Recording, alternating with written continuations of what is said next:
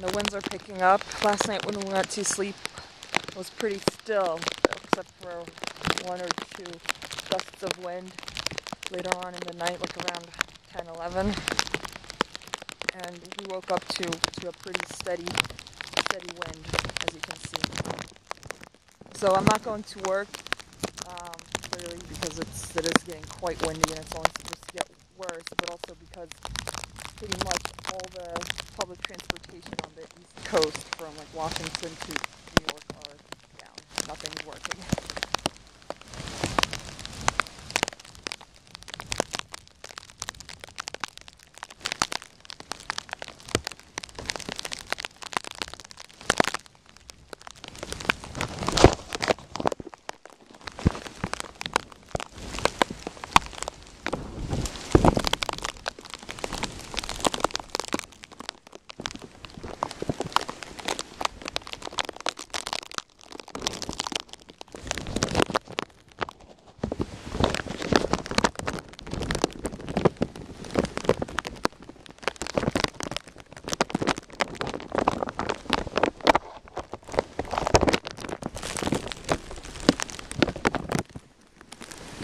I just realized that the, the plastic bag is covering the actual camcorder, so none of that was probably heard what I was saying, or at least mumbled.